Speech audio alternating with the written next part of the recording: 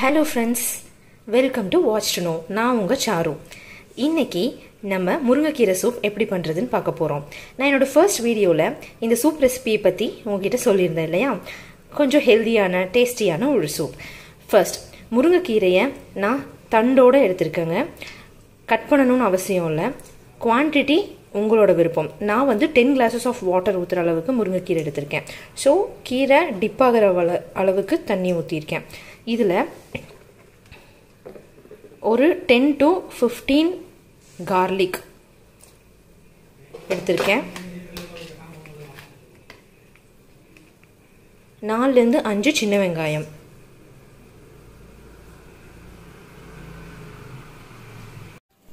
கொஞ்சம் சீரகம்.